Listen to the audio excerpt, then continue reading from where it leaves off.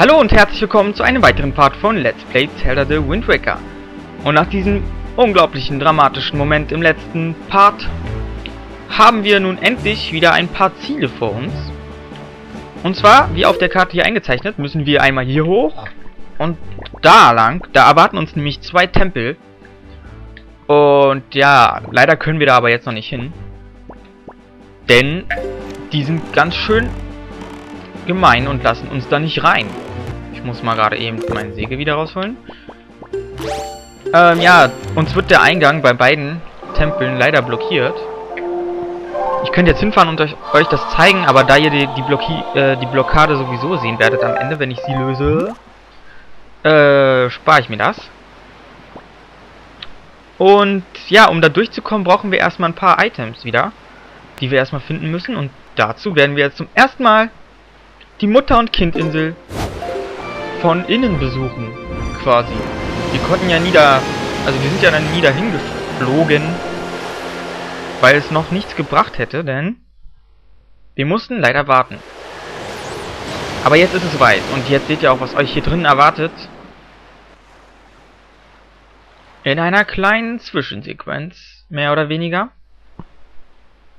Ihr seht hier schon ein paar Feen rumflattern, also es könnte ja schon eine kleine Andeutung sein.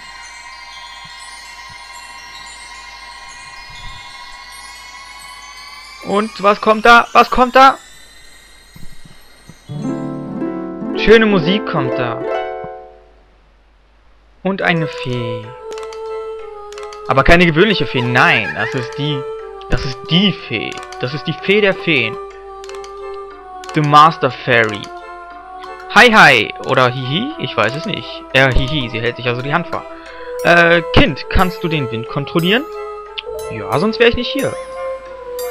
Äh, beachtlich, dass du diesen Ort hier gefunden hast. Schöne Puppe hat sie deine Hand. Ich bin die Königin aller Feen. Unglaublich, oder? Wir haben die Königin aller Feen gefunden. Na sowas? Du erschrickst ja gar nicht, Kind. Ja, war ein bisschen gruselig, sieht sie schon aus mit den Augen und so. Aber gut. Du gefällst mir. Ich werde Pfeil und Bogen neue Kräfte spendieren. Na, das ist doch mal ein Wort. Ja, diese Fee ist wirklich cool. Die spendiert uns nämlich, ohne dass wir was machen müssen, einfach mal neue Kräfte für unseren Pfeil und den Bogen. Was sind das denn für Feen? Bam! Und Bam! Ja, diese Feen sind eingezogen in Villa Link. Nein. Ja, wir haben Pfeil und Bogen erweitert, und zwar mit dem Eis- und Feuerbogen. Hä, äh, was laber ich? Ja, egal. Wir haben Feuer- und Eispfeile, so, das meinte ich. Die Eispfeile lassen selbst die loderndsten Flammen zu Eis erstarren. Die Feuerpfeile lassen selbst stattlichste Eismassive zerschmelzen. Die Feen dieser Quelle werden all deine Wunden lindern. Bediene dich ruhig ihrer Kräfte. Kind, ich muss zugeben, dass ich dich überaus süß finde, ne? Aha, aha, aha. Der kleine Link, der kleine Aufreißer. Ja, ja. Wow, die Königin aller Feen steht auf uns. Yeah. Wir sind echt cool drauf, ey. Wir sind echt eine coole Sau. Ja, ja. Wenn wir überlegen, am Anfang waren wir ein verschlafener kleiner Junge, der keinen Bock auf irgendwas hatte. Äh, ja, ich werde mich noch mal, ich werde mir noch mal schnell eine Fee einsammeln. Ein Fang. Wir haben ja noch eine leere Flasche übrig. Äh, ja, genau. Wasser. Ich hatte Bock auf Wasser. Nein, Fee, ich will dich fangen. Du sollst mich nicht heilen. Egal, gut, dass hier noch mehr sind. Ah. Dieses blöde Wasser. Ich will doch nur eine Fee. Leute, ich will nur eine Fee fangen. Okay, sind ja noch drei Stück oder so da. Next try. Round 3. Fight! Ey, das gibt's doch nicht. Okay, Leute. Vergessen wir die Fee. Puh, wenn die nicht wollen. Ich kenne andere Feenorte. So. Ja, die Feen, die sind immer sehr nützlich.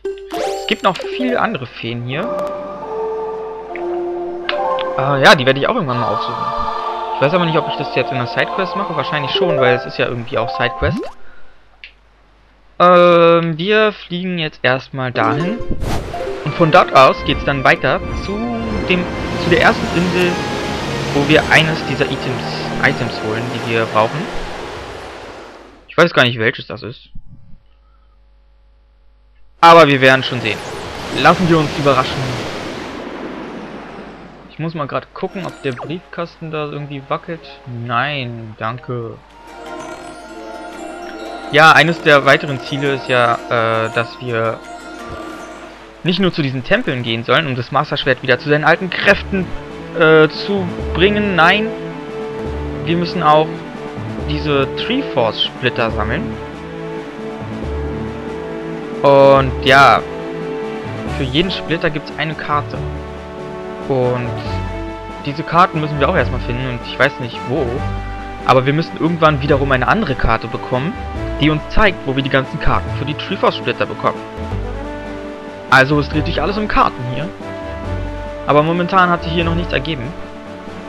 Deswegen müssen wir erstmal noch warten. Ich könnte jetzt auch suchen, aber das würde ein bisschen lange dauern. Auf jeden Fall ist da erstmal unser Zielort. Dieser riesige, flammende Feuerberg.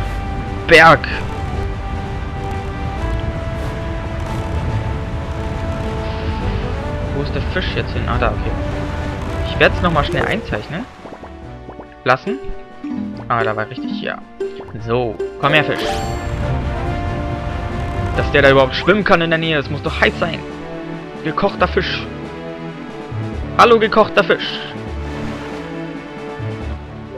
Zeichne mir mal wieder etwas ein.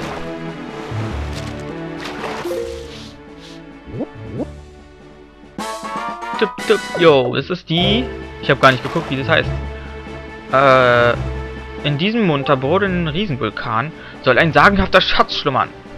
Dumm ist nur, dass man da nicht beim Versuch, äh, dass man sich bei dem Versuch zu holen, Mann, den zu holen, im wahrsten Sinne des Wortes die Finger verbrennt und wahrscheinlich den ganzen Rest noch gleich mit. Aber eine Region im Norden und bla bla bla, ja, ja, ich weiß schon.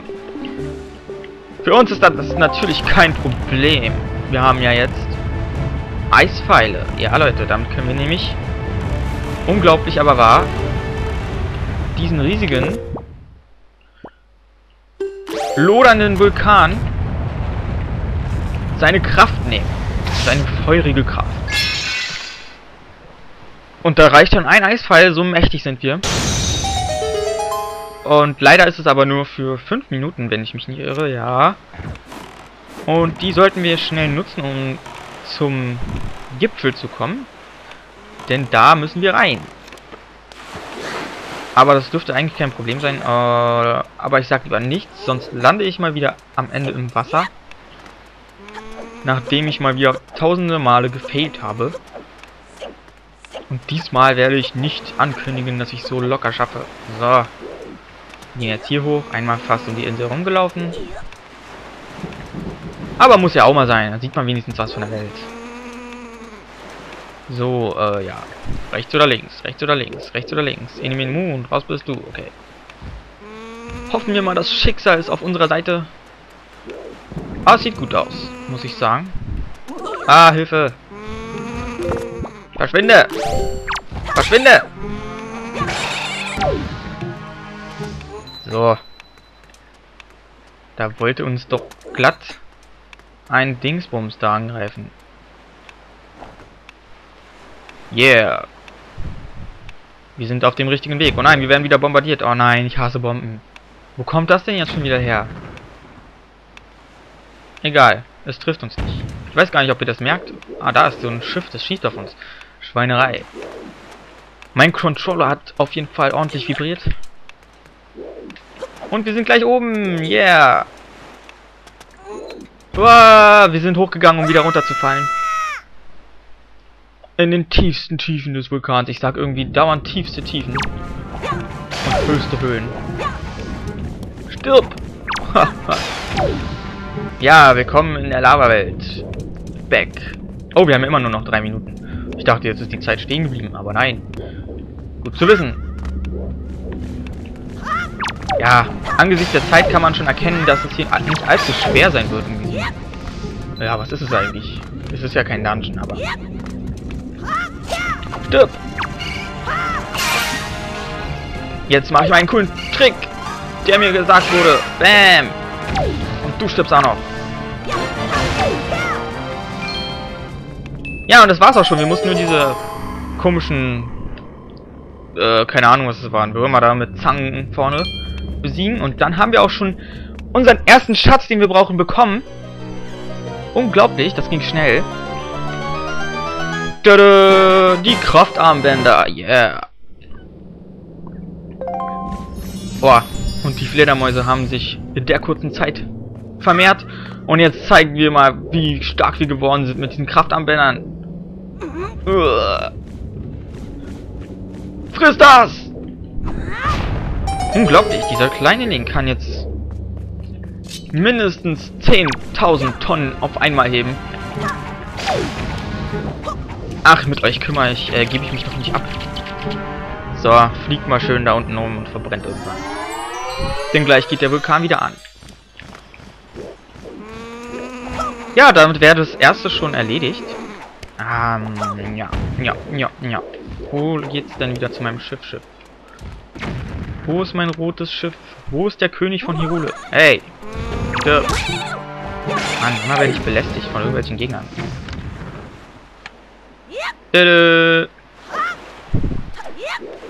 Oh, der Abstieg, der Abstieg war so schön einfach. Ja, gut. Wir haben ein Item bekommen. Äh, jetzt frage ich mich, äh, wo ist das andere? Ich weiß es nicht. Also es kann nur eines von diesen noch nicht besuchten Orten sein. Aber ich weiß gerade überhaupt nicht welcher. War es da? War es da? Ich weiß es nicht. Ich guck mal auf die Uhr, wie viel Zeit wir noch haben. Ah, noch so viel. Naja, ich, ich fahre einfach mal auf gut Glück los und dann werden wir sehen. Wenn nicht, dann habe ich den Rest des Parts jetzt verschwendet. Aber auch gut. Okay, wo soll ich hinsteuern? Ich weiß es nicht aus dem Kopf. Ähm, ob das hier ist? Nein, das unsere... Unser... Unser Haus ist da, glaube ich. Wir haben ja eine Villa bekommen. Äh, wo kann es denn sein? Hier sind Riffe, da sind... La, ja, ja, ja. Äh, fahre ich einfach mal dahin. Ich weiß nicht, was da ist, ob es da ist. Aber wir probieren es einfach mal. Ein bisschen Spaß muss sein.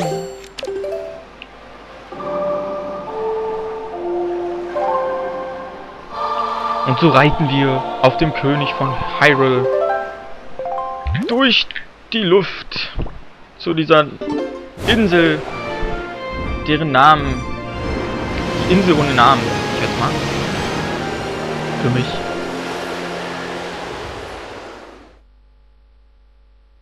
Tada!